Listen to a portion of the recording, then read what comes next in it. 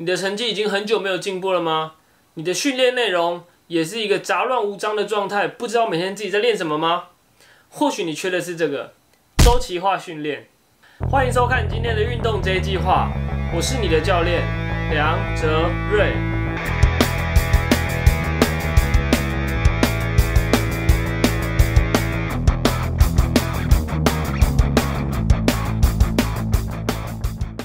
那今天我将来跟各位分享一下，到底怎么样是周期化训练呢？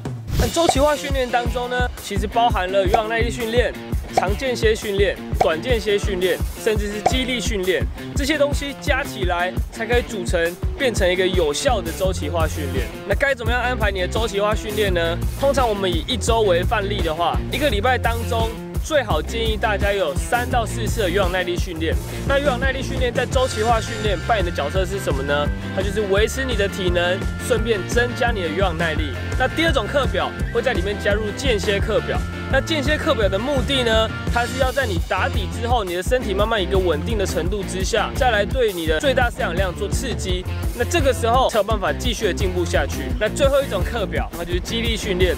那肌力训练呢，对于跑者来讲也是不可或缺的一环。如果你的身体肌力很差的情况下，你的碰撞度不好。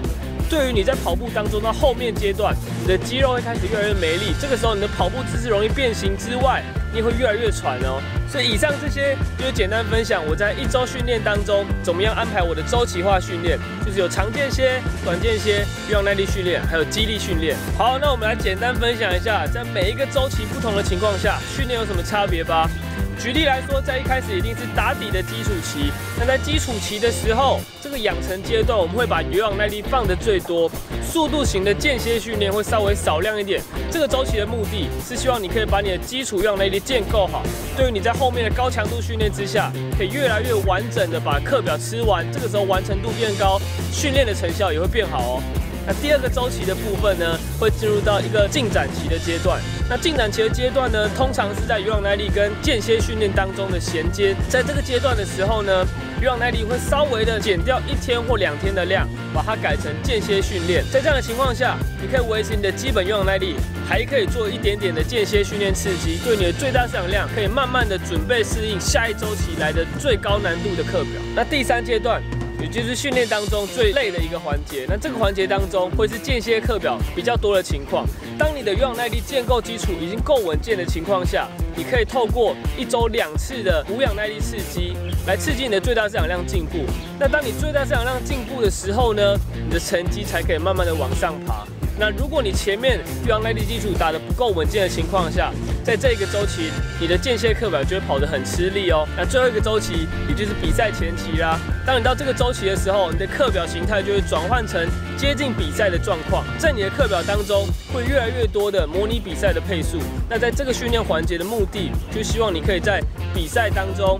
可以透过这几次的训练来模拟你比赛当中要跑的强度，才不会有突然不知道我现在爆掉，我现在肚子痛该怎么样解决的这样的问题出现。好，那以上这些啊，就是今天介绍的周期化训练，希望你可以在你的训练当中加入像我一样的周期化训练，在你训练更完整的情况下，让你成绩进步的更明显哦。那我们今天影片差不多能结束啊，如果你喜欢我的影片的话，记得按个喜欢并且分享，记得开启你的小铃铛，才会在每个礼拜四固定接收到我的最新运动这一计划的消息。